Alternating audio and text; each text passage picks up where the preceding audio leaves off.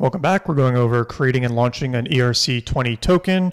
In the last couple of videos, we've gone over setting up the local development environment and writing the contract to launch the token. In this video, we'll go over testing the token uh, contract to make sure that everything is working as we expect it to.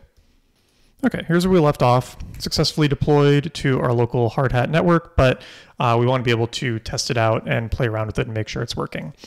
So we've got this deploy script and that's how it's uh, getting deployed to the world, but we need to actually uh, play around with it. So we're going to go into our test script and we're going to write some tests. So first of all, we're going to change this to describe deploying the token and we'll say it should successfully deploy. Uh, this is an async function and then we can replace this with our token uh, deploy script. So it's getting the contract factory from the demo token uh, contract, it's deploying it, and then you know it's waiting for that to finish. Now, this in itself is kind of a test because if anything goes wrong here, the test will fail. So as a starting point, we'll just try out this and see what happens. So we go back to our terminal and we'll run npx hardhat test and it successfully deployed the token. Okay, great. Now let's try another one. First, uh, we don't want to have to like copy and paste this every time, and we do need the token to deploy every time, so we can add a before each, this should be a before each async function, and we're just going to copy this and put it here. And basically what that will do is before running any of these tests, it will uh, you know, deploy the token and do all of that part. So we can actually change this to describe our demo token before each. It should successfully deploy. And, you know, we don't really have to put anything here. We could just say like console log success maybe. And then what it's going to do is it's going to run this before each and then uh, it'll go to the next, it'll go to this next test. And, uh, Let's see how that goes. Run this again. Okay. Cool. Now, what else do we want to do? Well, when it's created, there should be, what did we decide? This is about 1 million of supply.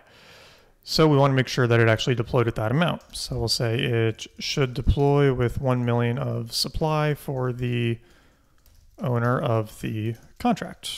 Async function. Cool. And we don't need to rewrite this because it's all going to get written for us. But we do need some actual addresses to interact with this. So I'm going to do const owner add one await ethers dot get signers. Uh, and what this is going to do is it's going to give us these two accounts, which are the first two accounts way up here. This account zero and account one. So owner is going to be whatever it's deployed from, and address one will be kind of like the next address in that list. So if everything's working properly, then uh, we should be able to uh, check on the balance that the owner has, and it should be that same amount that we created here. So first, just to make uh, sure everything's working, I'm going to do console log uh, demo token dot decimals and see what happens here. Demo token is not defined. Okay, so the reason for that is uh, it's defined up here, but that's not going to be passed into our function. So what we'll want to do uh, up here is we'll say let demo token, and we're also going to say let owner and let address one. Oops. Cool. And then we'll delete that, delete those, and let's try it again. Cool.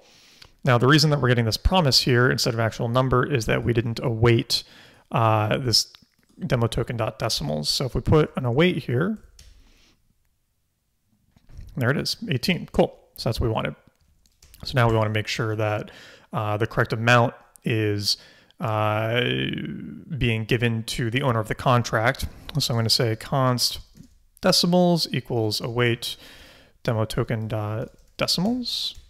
And then we'll say uh, const balance equals await demo token dot balance of, and then owner dot address because owner is this first account, like we said, uh, first account here, the one that it's being deployed from.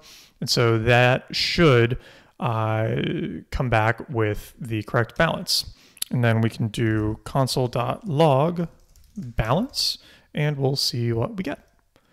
So we'll run hardhat test again. All right, now we're going to get this big num, right? And this is just how uh, it tends to get stored is as a big number because it is often a big number with a ton of decimals. So one thing you can do is you could do console log um, parse int for balance. And let's see what that comes back as. And here we go.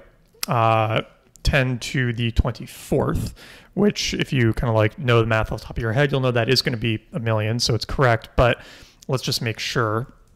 And the way we can do that is instead of parse int, uh, there's a built-in function where you can parse ethers. So we'll do ethers dot utils dot parse ether.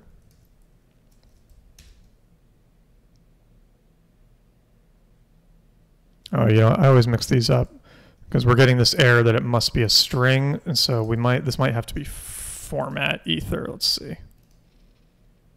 There it is. All right. So, uh, and this is just helpful to know is format ether takes it from the 18 decimals to normal decimals. Parse ether takes it from like 100 and adds all the decimals. So like if I did console.log ethers utils parse ether of call it 100, this should give us either a big num or 100 followed by, yeah, cool. So uh, that's just if you need to send in an ether amount. Uh, okay, so now it's printing out the right amount of a million, and we just want to make sure that that is correct. So we will say expect balance equals 1 million. And we can't just use normal balance that's going to be the big num. So we'll say format ether, paste that. And let's see what happens. And there it goes. Cool. Okay, so that's working. Great. Uh, it's correctly deploying with uh, the right amount. We don't need this decimals since the decimal number is uh, the same as what we get from format ether. Uh, so what else do we want to test? Well, we want to make sure that we can actually use the contract uh, the way it's expected, which would mean being able to send tokens uh, back and forth. So we'll say it should let you send tokens to another address, async function. Cool. Now, if you're ever unsure how to do something, uh, you can always go look at uh, your contracts uh, JSON artifact because this is going to have like all the different functions that you can do. So we want to know how to send some to an, uh, another address. So it looks like transfer from does it and transfer. So we'll use the transfer function and we just need a recipient address and an amount. And this is going to be an amount including the 18 decimals. So uh, the way we'll do that is we'll go back here and we'll say await demo token dot transfer. So this is going to send it from this owner account. And then we'll say address one dot address. This will send it to the uh, second account in the list. And if you remember, this first thing is this recipient address, and then we need an amount. And so we'll say ethers dot utils dot parse ether 100. We want to send them 100 of our demo token. And then uh, assuming that works, we should expect await demo token dot balance of address one dot address to equal uh, ethers dot utils dot parse ether 100. All right, now let's see if that works. Great. So that is working fine. And if you're ever unsure, you know, you can always add these console logs along the way. I'm just kind of skipping it since I showed you in the last one. What else do we want to make sure this contract does? So we know that uh, we know it can be sent. We might want to test this approval function. Uh, the, okay, so these are events actually. Allowance, approve, uh, balance of. So let's test this approve function actually, because this will let us uh, allow another address to send tokens on our behalf. And this is what you're doing when you're hitting like accept on the allowance. So to do this, we're going to want one more account. So we'll say let adder2 and address2. Great.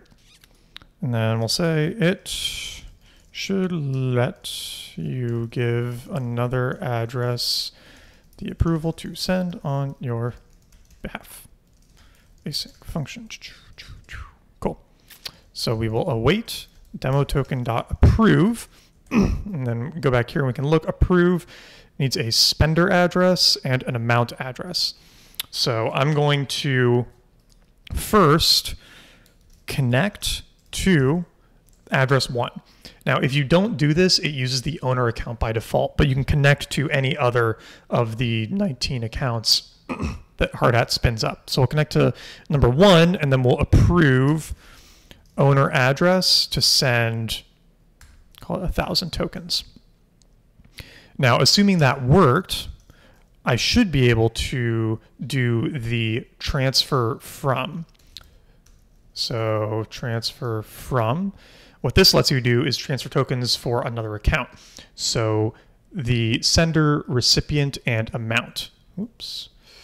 So if I go back here, I should be able to do await demo token dot transfer from address one dot address. And since I didn't do the connect, I'm acting from the owner account now. Let's transfer from address one dot address to address two dot address 1000. And uh, you probably have already noticed that we need to add this parse ether here. So we got it there. Add it there as well. And then we should await, expect, oops, did that backwards. Expect, await, balance of demo token